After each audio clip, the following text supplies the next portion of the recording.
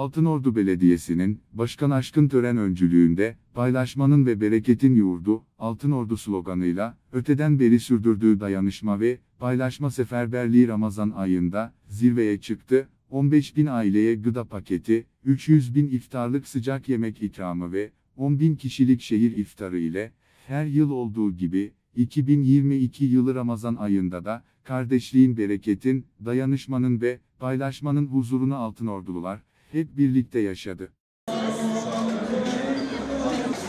Allah kabul etsin. Bugün burada olmaktan şahsen ben de memnuniyetimi ifade ederken her birinize afiyet olsun diliyorum. Hayırlı akşamlar diliyorum.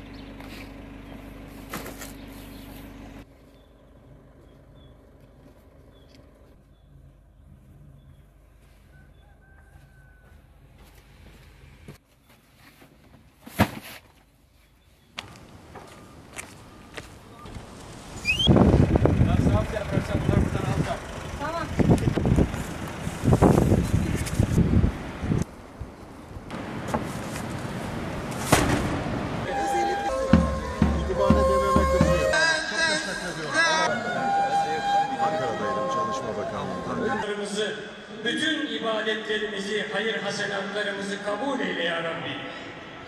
Bugün davetimize icabet ederek paylaşmanın bereketle taşlandığı bu büyük soframıza bir aile saadeti, bir şehir saadeti getirdiniz.